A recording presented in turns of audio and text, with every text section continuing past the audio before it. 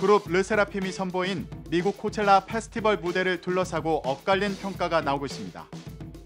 르세라핌은 13일 코첼라 밸리 뮤직 앤드 아츠 페스티벌에 사하라 무대에 올라 40분간 10곡의 무대를 선보였는데요.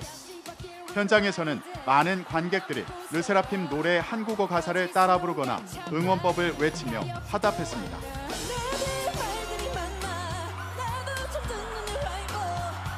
그러나 이날 무대가 생중계되면서 누리꾼들 사이에서는 부정적인 평가가 눈에 띄었습니다. 음정이 맞지 않는다. 실력이 부족하다며 라이브 실력을 지적했고 일부 멤버의 음이탈도 논란의 도마 위에 올랐는데요. 반대로 미국 빌보드는 코첼라 1차 공연 중 최고의 순간으로 르세라핌의 무대를 꼽는 등 평가가 엇갈렸습니다.